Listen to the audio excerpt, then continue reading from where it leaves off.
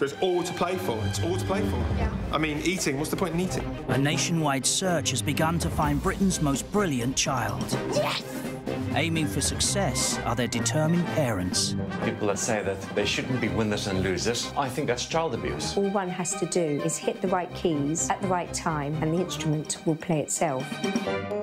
Myrmecophage.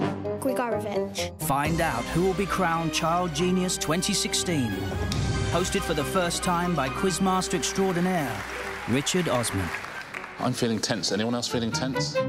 Child Genius starts Tuesday at 8 on 4.